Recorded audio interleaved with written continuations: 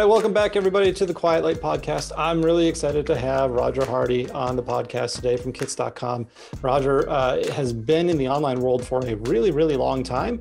Um, and that's not to say that you're old, Roger. That's just, uh, I've been in this for a long time. It's nice to talk to somebody who understands what Yahoo Shopping Cart actually is and uh, has probably used it before. Um, at one point, Roger had the largest exit uh, for an online business in Canada, which is really, really cool. We're going to talk about his story about growing uh, that business, what it was like to grow something to that size and have that exit. Before we start, just as a reminder, this episode is brought to you by Exitpreneur. If you have not downloaded your copy of Exitpreneur or bought your copy yet, please do so. You can find it on Amazon.com. This is the complete guide to how to prepare uh, an online business for sale. Everything that we teach and everything that we look at when we're looking at a business that, that uh, we might help sell this is the absolute guidebook for it. So go to Amazon.com, download it. It's a bestseller. It's got tons of really good rating, five star ratings at this point. We're hearing from people left and right about how much they wish they had this book before they sold the business, or how much this uh, book is providing them with a roadmap to maximize the value. So go to Amazon.com, download it, uh, send a message to me, not to Joe. I don't want his ego to get any bigger uh, about uh, how great the book is. Just send a message to me about uh, what the book has done for you. Really appreciate it. Roger, super happy to have you on today. Thanks, Mark. Great to be here with you. Very exciting. I want to start off the same way that our initial call went, um, and that's nothing to do with the online world, and that's your involvement in NASCAR. That's pretty cool. What, what do you have? Uh, you have some interest in NASCAR, right? Well, you, you know, we uh, we we've we did participate in the Indy 500, which took place uh, back on uh, July 4th uh, down in Indianapolis, and uh, we ran a car there uh, with a Canadian team. Actually, it was the only Canadian running in, in the Indy 500. Uh, Dalton Kellett uh, in the Kits.com car. So super exciting. Uh, Dalton and his family, just just a great family that's uh, been running the K line car for a while in Indy. And uh, for anyone who loves racing, I mean, you can't get any better than you know. We were in the pits at Indy watching the team tr- change tires and watching the cars come in, having our brand on the side of the car very exciting for all the kits uh, team, all the, our kits family, and super exciting to work with them. So uh, great exposure. You know, it's I think the biggest uh, fan engagement so far this year up to that point in the U.S. So I think you know there were ninety thousand to hundred thousand people come through the gates. Uh, super, just just I mean, you can't have any more fun than that in a weekend. I don't think. Uh, what a great event. Yeah, that I mean that, that's a it's a cool conversation starter. Even cooler to be down in the pits and everything. I am not a, a, a racing fan, but it's one of those events where I don't know anything about it. I would love to go to to uh, an event like that. I've always heard once you go, it's like an, ex- an experience like no other. It, it really is, yeah. And I, and I, guess I'm like you. I only got into it uh, running a car a couple different times, and it's just a thrill. I mean, I think we pin- finished in the middle of the pack, and you know, we may as well have won from our perspective. It was just so so enjoyable to uh, to participate on that level. Yeah, I'd, I'd, encourage anyone who can get get into the pits to do it. It's uh, you know it's the, the most exciting eight seconds when a car comes in. You know the gas goes in, the wheels come off, and out it goes in under eight seconds. I mean it's fantastic. That's pretty cool. Oh, we didn't uh, we didn't uh, jump on this to talk about racing as much uh, fun as it is uh, to, to, be able to talk about that sort of thing. Uh, we're going to talk a little bit about your exit and building a business up in Canada. What was the business first of all? Yeah, sure. So uh, back in 2000, a bit like you, um, in the early days of the, the internet web, uh, my sister and I started a company. It was called Coastal.com. Uh, it was a vision care provider similar to Kits. Uh, we sold contact lenses initially, then launched an eyeglasses business, became the largest seller of eyeglasses online, uh, Coastal.com, when we uh, got an unsolicited bid in, in 2014. And, and I should just back up and say that company grew from startup in 2000 to be um, you know, uh, uh, the largest seller of glasses and contacts online. We listed it on the NASDAQ in 2012. So it's a fairly big and interesting business, did business all around the world, uh, office in, in Scandinavia that, that handled Europe, uh, an office in Australia, New Zealand that did Asia Pac, and then uh, one in Vancouver and one in uh, Washington State that handled North America. So grew very quickly, became NASDAQ listed, and then um, Essilor, um, who's sort of the the gorilla of the category, the 25 billion euro monolith of, uh, of glasses in the world, uh, came along and, and uh, made an unsolicited bid for the, the company in 2014. Uh, so we took the the offer to our shareholders, and uh, you know, frankly, they were tickled pink. Uh, it's about a half a billion dollar offer, and so all cash offer. So uh, from the startup uh, that my sister and I built a website, you know, bought our first inventory on our credit cards, you know, the, that type of story to half a billion dollar exit, the largest exit in, in Canadian e-commerce history at the time. Still, I think is either the biggest or one of the biggest. So um, yeah, it was a good, it was a good run. How long? How long of a period was that? Two thousand is the starting point. When was the exit? Yeah, started two thousand, sold in twenty fourteen, um, and as I said, the Nasdaq listing in twenty twelve. So, you know, gosh, we wish we had your book before uh, we'd done that sale. Uh, I'm sure we would have learned a lot from it. And uh, you know, as you know, the experience of doing exits, uh, you know, you learn something on every single one. And so, the more you're involved from in, the more you can learn from others. Uh, it's uh, it's helpful, right? Like anything. Yeah, no, that, that, I mean that I'm sure people hearing the number, right, half a billion dollars cash, is going to make some eyes bug out. Uh, you know, because a lot of the the conversations we have with people are on much different scale, right? Much much smaller scale uh, than that. What I love about this though is the startup part, right? You and your sister buying inventory on credit cards um, back in 2000. What what shopping cart did you start out with?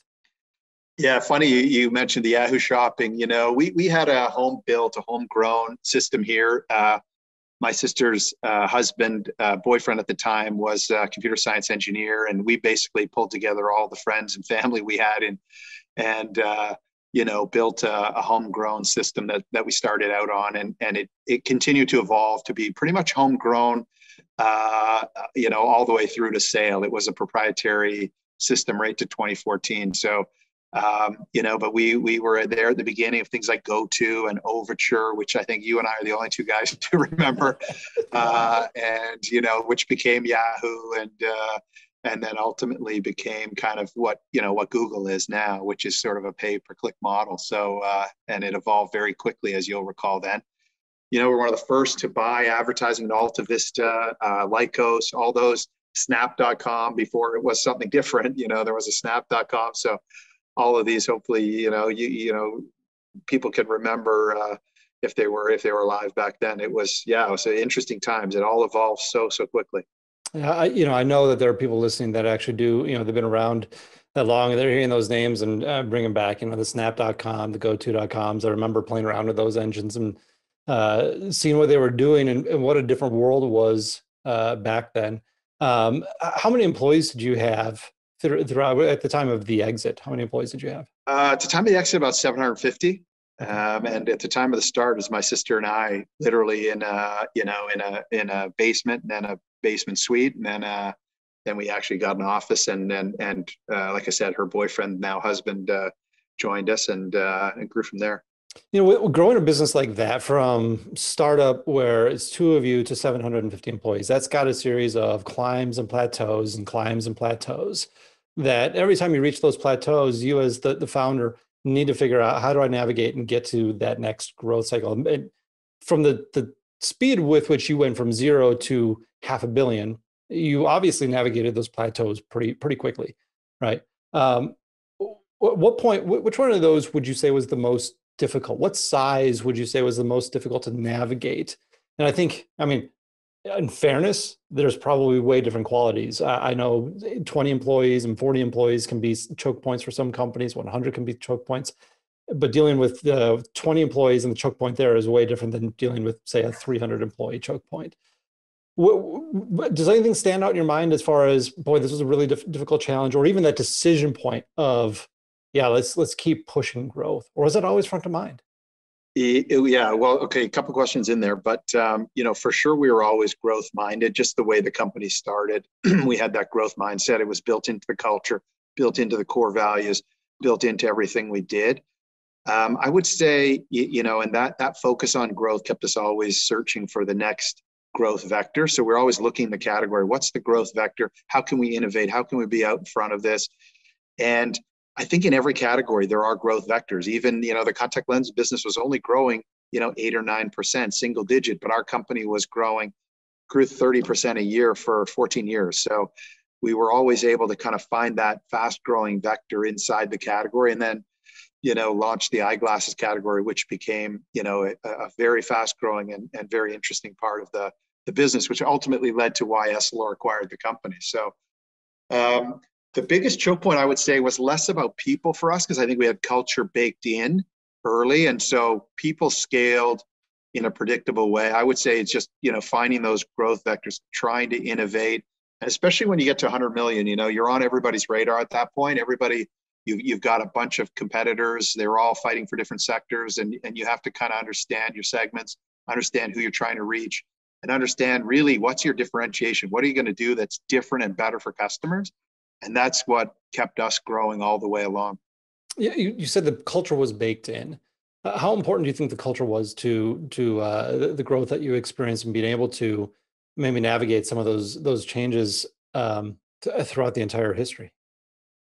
Yeah, I think I think you're so right to uh, to talk about culture. I think it was key for us to grow, um, you know, from a people standpoint, to have cultural values baked in early, and then to reinforce them in everything we did. Every morning huddle, every weekly team meeting, uh, every quarterly launch, where we identified the priorities for the quarter, make sure that everybody knew their contribution for the quarter to those priorities, literally sitting on their desk and, you know, to be direct, I think with COVID, I think it's gotten harder when people are working remotely. I think, uh, especially in fast growing companies, you know, your culture is being defined over Zoom and, and you've got people, you know, that you, you may not have met even in six, 12 months in a fast growing company.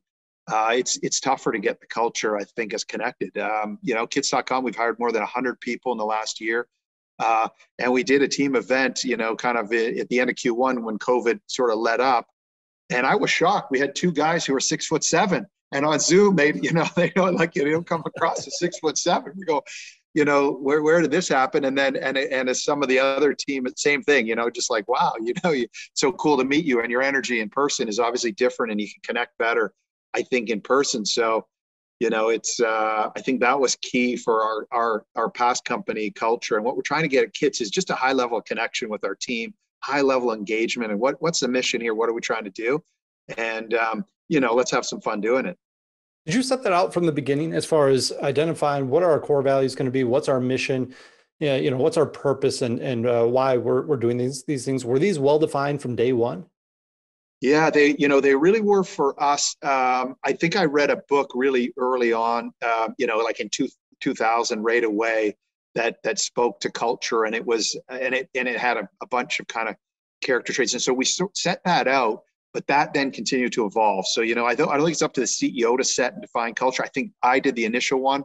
I set the initial mission and then it's about getting everybody else around the table each quarter to say hey is this is this still the mission? Are these still the values?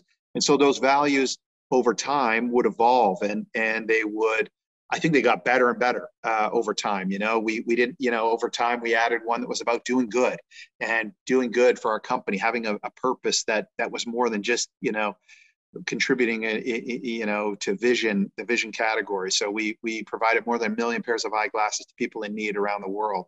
You know, in, in places where a pair of eyeglasses was tough to get, and flying our folks all over the world to put glasses on, you know, the elderly and others, and seeing the you know the reaction they would have for the first time seeing their grandkids was you know it was pretty um, it was pretty moving and it was pretty foundational to, to our culture to build that in to say hey you know we're going to have a purpose here that does good in the world uh, and yeah i think think those kinds of things you know that evolves that was beyond just me saying that back in 2000 that really kind of evolved into that and that's what we try to do at kits.com as well as we, we set a, a vision but especially a company growing as fast as ours, you know, over 100 million of revenue in under three years, it's grown very quickly. So the culture almost has to evolve as you go through each stage of growth. Like you said, 10 million looks like one thing.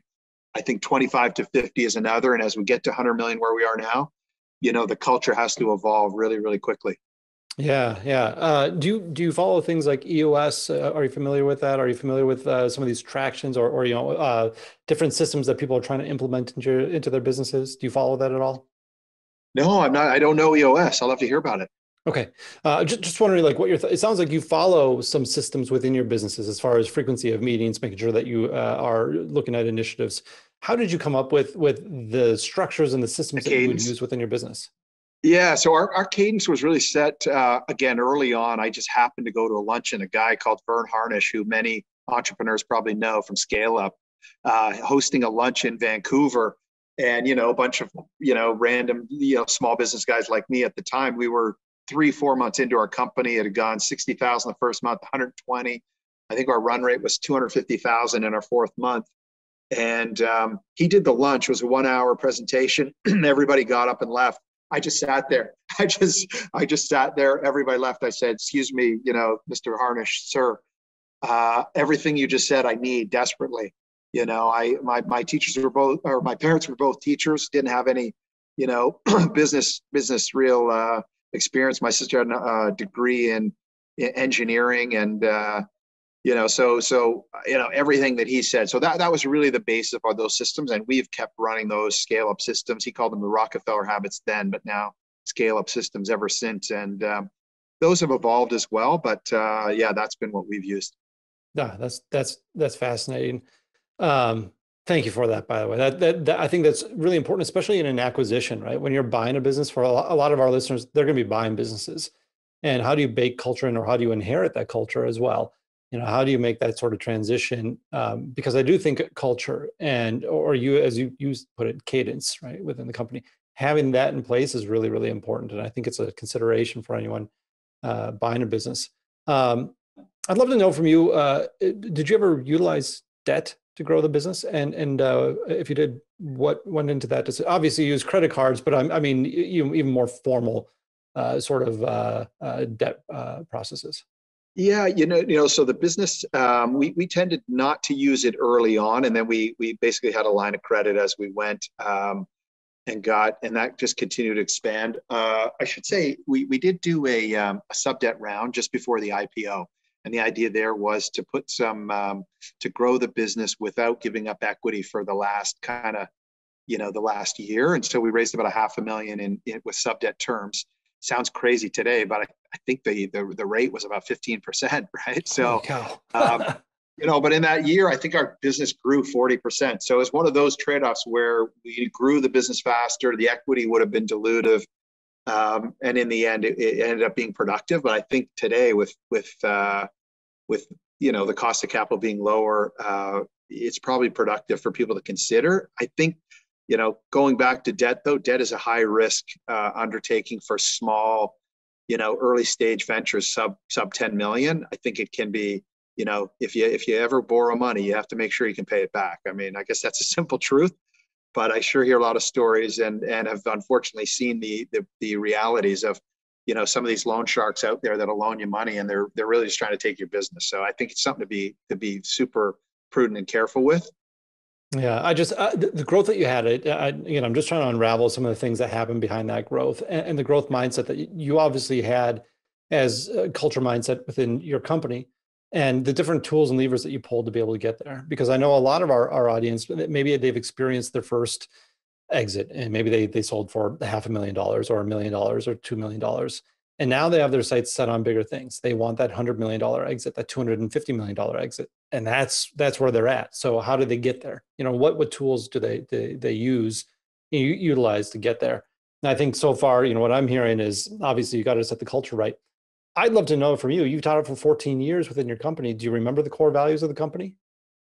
Yeah, sure. Yeah, I mean, I, I can tell you the core values, and then maybe talk a bit, bit more about the growth between those different segments. But um, uh, so it was it was team uh, bias to action. So you know, we, we we're going to reward people for taking action, whether it's right or wrong. Do it, learn something, move on. Uh, agents of change. So knowing that you know we're trying to change a category, there's going to be friction in that. Um, uh, do more with less uh, was one of them. You know, uh, I guess it's obvious again, but um, you know, we in in its sense of interviewing and adding team members, you know, we we weren't looking for people coming out of big companies that had a big company mindset. I'm going to come in and hire 15 people, and I'm going to need uh, you know three admins and, that sort of thing. We we always wanted to say uh, entrepreneurial. Um, you know, uh, do, doing uh, doing good you know? So um, being focused on making a contribution giving back having a purpose.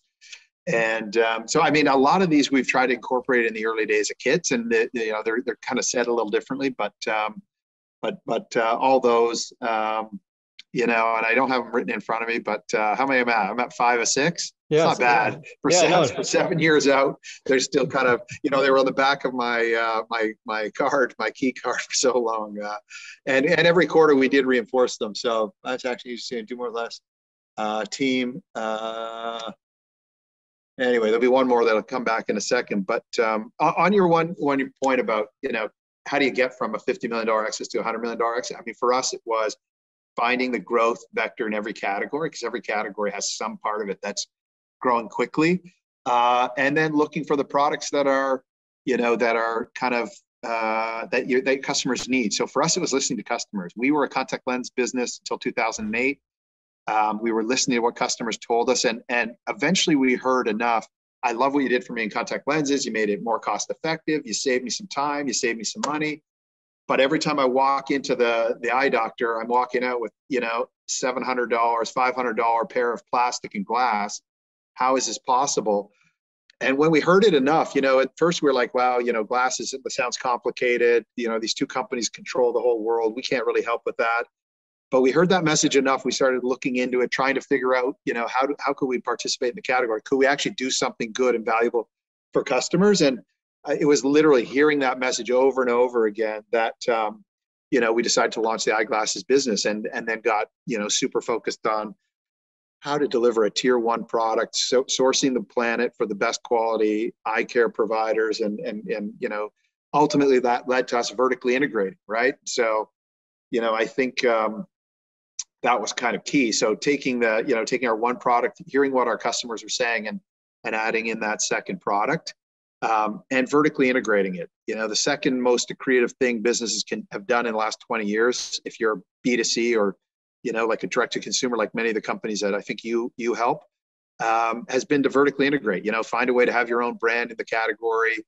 um, do something special, differentiated, you know on your own uh, and and I think that that was a key step in in really contributing you know taking the value of the company that that alone doubled the value of the company. Yeah, you, you said something in there, and it was almost a throw throwaway uh, sentiment uh, to it, but I think it's so important. Uh, you know, what prevents a company from from growing and, and seeing that massive acceleration? And I think it's taking on the difficult challenge, right? It's it's seeing something that is difficult, seeing something that might be complex on its surface, and deciding, you know, we're actually going to try and unravel this and we're going to try and see if we can solve it. You, you listen to the marketplace, hear what the marketplace is saying, and then trying to address that. You know, that, that solves the product market fit. But a lot of people don't move into the challenge.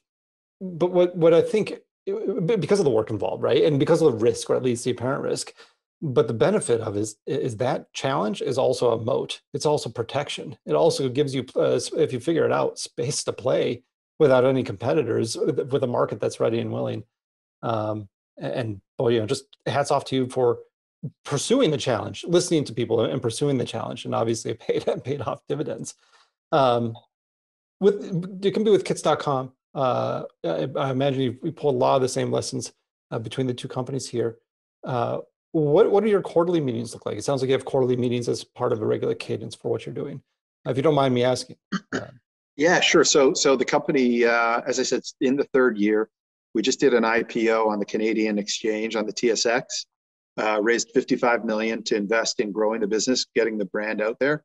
Uh, and so we do uh, quarterly meetings where we identify priorities in each functional area. So the marketing team, um, they'll each have, they'll have a top five that rolls down into the entire team. So if I'm in charge of, let's say, paid media, I've got a top five things I got to do. If I'm in charge of email retention, customer journeys. I've got a top five and so on. And then that, that rolls through to customer service. If I'm answering calls, I've got a top five around satisfaction, around how many calls I do, around, you know, uh, you know, all, all kinds of different metrics so that blend in there. And so we try to put, you know, those metrics in front of people that we think all tie into the top five of the company. So, which is, you know, generally starts with revenue, goes into to margins, earnings, and then and then into satisfaction metrics. Um, you know, for us, we're focused on NPS, Net Promoter Score. We think that the the best Net Promoter Score in every category, that company ultimately has the highest value in the category. And so we're very focused on listening to customers. We have the the most uh, satisfied customers and the highest review count in the category today. And so that gets us really excited. We see that our competitors turn off their customer comments And I think, you know, there are folks that do that, right? And these are big companies, billion dollar businesses we compete with. They turn off their customer comments. If you think about that, you know, that to me, yes, you're going to have some customers that are unhappy and they're going to say some awful things to you online. We all know everybody has a voice, but you know, you got to be willing to listen to that, take a bit of flack and, and try to get better every day. And that's what we're trying to do. Uh, and so we're super excited to have the satisfaction metrics we do, the best in the category. That ultimately is what we think leads to growth. If you have happy customers telling the story to other people they know, friends and family, I mean, that's how we found out about Google, right? Somebody told you, hey, have you tried Google? Somebody, that's how you found out about Facebook. Someone said, are you on Facebook yet? You know, have you tried Instagram? Uh, you know, none of these things, you didn't see an ad for any of those products, right? And, and yet that, that there was somebody told you about it. So to the extent we can, that's what we're trying to do is, is provide you a pair of glasses that wows you so much that you want to tell your friends and family about it. We want, you know, uh, a pair of glasses at kits.com, $69. We, we think it's the highest quality frame you can get in the market. And, we, and we're sure that it, you know, other companies are paying more than that to acquire a customer. So we want, you know, if we can wow a customer and they tell the story, that that's really, you know, for us, that's that's kind of what we're trying to. That's the nirvana, you know, that's the lift moment for our company, right? It's when word of mouth carries it. And you you you can't get there unless you're leaning into the negative comments, though, right? I mean, you so need right. lean into that. You're so right. You know, I, I think, uh, and that's why I think some of these companies have such a high acquisition cost that they, they ignore the market. Um, you know, we, when we launched our glasses offering a kit, biggest thing we heard over and over again, uh, and the biggest comment was where are progressives, you know, uh, which is, you know, if, if, people are under 45, they don't know what a progressive is, but basically a bifocal. Once you're 45, it gets harder and harder to see the menu and see, you know, see small print. Uh, we've all seen our friends kind of, your arms get too short squinting so those are progressives. And we kept hearing that comment over and over. We said, this is a very complex thing to make a progressive lens. To make a bifocal lens, we need very sophisticated equipment. It's millions and millions, tens of millions of dollars we had to put into that to be able to make that. And like you said, you know, what's the thing that's hard to do that's really good for your customer? If you can find that hard thing to do that's good for your customer, that's where that's you know that's a sweet spot, right? If it's easy, everybody's doing it. It's the hard thing that is creating value for your customers. So we we do a digital progressive lens that retails across the states anywhere from 600 to 800 dollars. We retail that for 199 now, and that's you know we've got the best state of the art equipment. We're running in a completely automated lab. It's made in North America. Um, you if it orders today, it's on your doorstep tomorrow morning. So you know those are some of the things we're trying to do is, is take that hard thing and make it easy and and give customers a wow uh, between company culture having a good cadence to your company uh, utilizing uh, growth in the right way, you know, different growth levers, and uh, and then obviously listening to the customers, pursuing the hard things. Uh, you, have done you've done some amazing things. Half a billion dollars uh, in uh, for, for, the offer. Obviously, you didn't get all a half billion dollars. You were a public company, but how did you celebrate? That's a that's a really big feather in the cap. Yeah, I mean, great question. We we were, you know, it was a real team effort, and um, probably the best part was knowing that along the way we'd had a employee share ownership plan. So all of our staff and employees, I think it was 92%. So anyone who had been there more than three months, we would match their contribution. So all the staff had been, you know, accumulating stock and and really the run up uh, in the in the year before we sold the stock, you know, more than I think it either doubled or doubled in a you know a bit more than doubled. So was just you know holding that that big party, that event. Um, you know, I took all the 20 managers out. I bought them all sort of a, a deal gift and uh, looked like a Super Bowl ring. you can believe it. Bought them all a Super Bowl ring because that, that was as close as we were going to get to Super Bowl uh, ring. So, uh, but you know, that that just celebrating with the team was really the the most rewarding part um, you know, it was uh, financially, you know, obviously great for for all all the team, and that that's the biggest reward. And we're trying to do the same thing at Kits again.